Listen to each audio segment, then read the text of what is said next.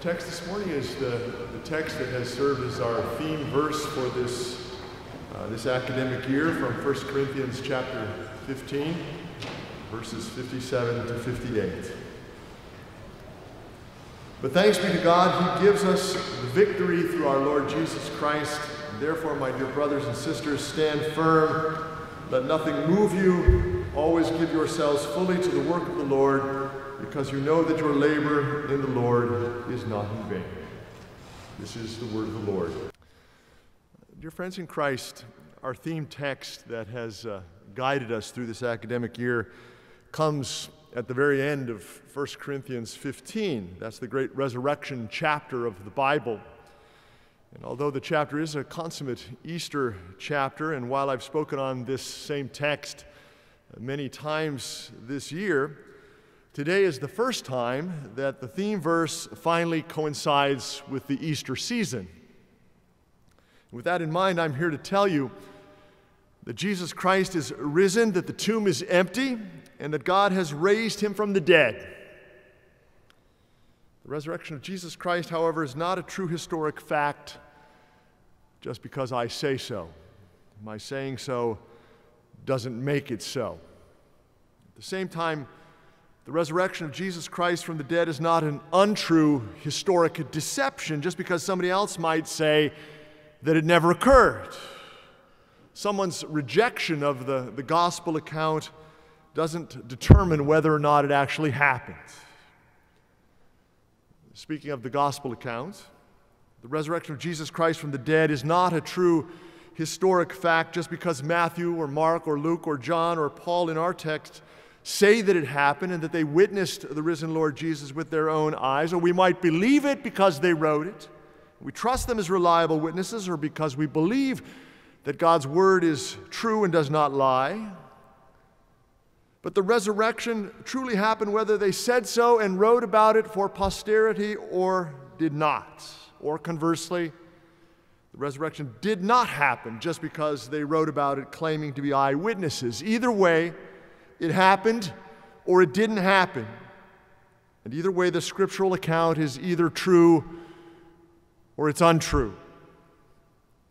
And finally, the fact that you believe in your heart that Jesus died on the cross to remove the guilt of your sin and that on the third day he rose again from the dead to give you the promise of everlasting life, just because you believe it's true, that doesn't make it true.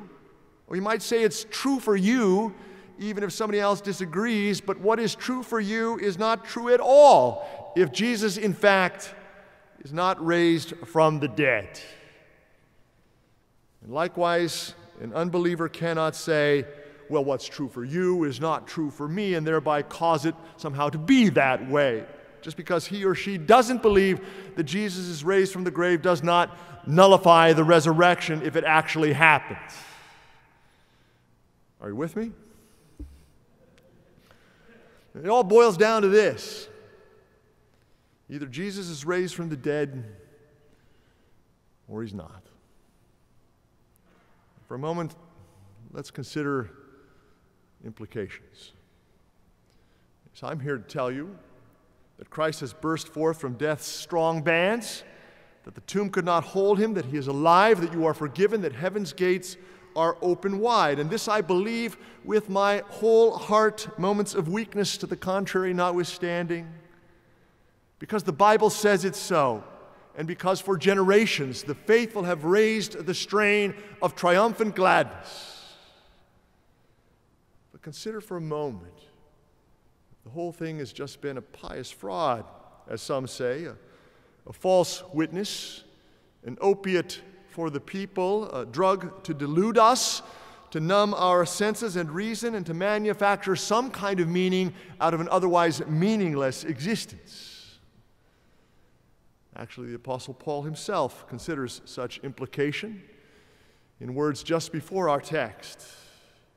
If Christ has not been raised, our preaching is useless, and so is your faith. And more than that, we are then found to be false witnesses about God for we have testified about God that he raised Christ from the dead. But he did not raise him if in fact the dead are not raised. For if the dead are not raised, then Christ has not been raised either. And if Christ has not been raised, your faith is futile, and you are still in your sins. And then those also who have fallen asleep in Christ are lost. If only for this life we have hope in Christ, then we are of all people most to be pitied. Pity us for wasting so much time and energy on a faith that is false if Jesus is not raised from the dead. Indeed, pity us for wasting our whole lives for following some far fetched fairy tale if Jesus is not raised. Of all people, we are most pitiful if, as some say, and maybe even as most say, the resurrection never happened. Those are the implications, I guess. If the resurrection is not true, there might be others.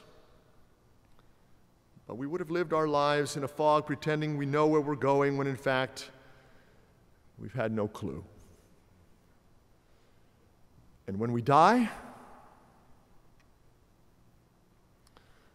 I realize it's been kind of heavy so far, so I'm going to break it up with a little story here, just a little interlude. I want you to go back to, to Labor Day weekend. It seems like you know, just a few days ago, in a way, right? School was just starting. We had this long weekend break already early in September.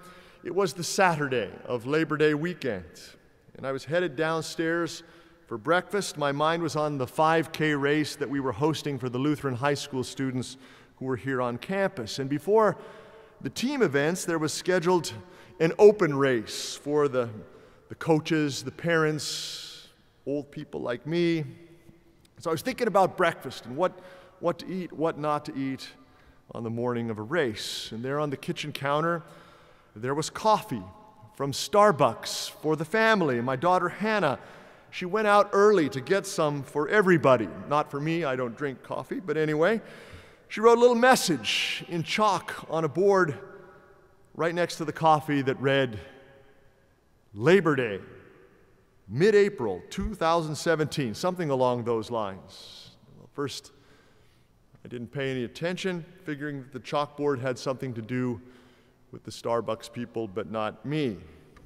But she said, Did you read the message? I looked a little closer, but, but I was confused. I mean, this was Labor Day weekend. What did April have to do with Labor Day? And then by her little smile, I figured it out. She was announcing that in April, she would be experiencing her own Labor Day. She was announcing that, that she was going to have another baby, her second, and, and our second grandchild. And just like the first time when they told us about Ava, just like the first time I wept for joy. Well, Hannah's April 17 due date came and went, and she watched with envy, along with many others, as April, the pregnant giraffe, finally gave birth to a, before a worldwide audience. Hannah was impatient. She waited for her own labor to begin. She was eager to have this baby, but evidently the baby was in no big hurry to be delivered. And so, alas, Labor Day, mid April 2017, as it turns out, was actually April 25th. And then Jonah Tad Meineke was welcomed to the world. Baby, however, was not thrilled to leave the womb behind. In fact, labor had to be induced to accelerate the process. But I want you to put yourself in the position of my grandson. Not the fetal position, I'm just speaking metaphorically here. The womb, though, the womb was the only world that the baby ever knew. It was home to him since before Labor Day. And now, this other Labor Day, April 25th, encroached upon the only world that, that he had ever known. And up until the end, it was a comfortable enough place for Jonah, if not for Hannah. But he was warm, safe, nourished. The voices from beyond perhaps signaled something other on the outside, but the baby approached that unknown future with fear and with uncertainty, and he passed from the womb to the world kicking and screaming, I'm told, just like babies so often do. Put yourself in the position of the grandfather. When I think about that baby preferring to linger longer in the womb, well, I felt a little amused. In September, I wept for joy. But now I just smiled. I mean, the baby was in a dark and foggy place. This is so much better, so much more to do, places to go, people to meet, things to see. And I guaranteed that it was so much better here. I personally offered him those assurances. Mine was one of the voices that the baby heard from the great beyond, but which he was unable fully to understand or appreciate. And no matter what I said, and no matter how much I, I coaxed and cajoled, the baby just didn't know for sure what was outside of the womb. He didn't know what to expect. Pardon that personal reflection. Where did I leave off? Oh, yes. And when we die, when we leave behind the womb of this world, the only world that we've ever really known, what are we to expect? There have been voices, we've heard them, we've read them, we have some idea of what they're trying to communicate. They promise us that what awaits us is exceedingly and abundantly above and beyond anything we could ever ask for or imagine, but we still wonder and we worry and we're a little afraid. And we leave the, the womb of the world kicking and screaming, fighting to the last breath, the same way that we fought against our first one. What if it's not true? The Father smiles upon his children as he waits to welcome us and to show us the full extent of what he has promised. And in his nearer presence, unobstructed by womb or tomb, sin or death, the words we have heard are fulfilled. And in the twinkling of an eye, it will all be changed. I tell you a mystery, we will all be changed from the perishable to the imperishable. And in that moment, in that moment, we will immediately wonder what were we so afraid of? Oh, death, where is your victory? Oh, death, where is your sting? It won't hurt anymore. And the wounds that this world inflicts upon us have already been borne by the wounds of the one who has finally and fully and forever healed us. His victory is our victory. And because Jesus is raised from the dead, death will not hold us either. And the light trouble of this moment, whatever form or, or shape it assumes in the womb of the world, is just preparing us for that everlasting weight of glory. I've never heard Concordia described as a womb. Once in a while, I hear it referred to as a bubble. Recently, our, our campus was recognized as the safest in the state of Wisconsin. That's really, I think, a very good thing. But some of you perhaps cannot wait to get out of here, get on with your summer vacation or to the rest of your life. Others, though, may have found this to be such a comfortable place that you never want to leave. As far as the future goes, none of us knows for sure what to expect. But whether we stay or we Go.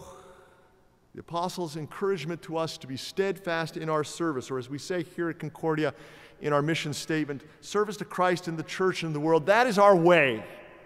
That is our way of witnessing to the world that we believe.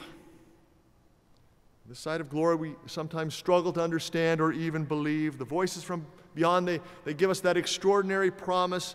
But this is the only world we've ever known. And now we see through this glass dimly. We peer through a fog, but one day we will see face to face. We will see Jesus, and He'll be smiling, waiting to hold us in His arms. And when faith gives way to sight and we see with our own eyes, we will realize that the gospel voice was telling us the truth. The victory of Jesus over sin and the grave is not His alone, He gives it to us. He gives it to you. It is yours, and you are His forever. In Jesus' name, amen.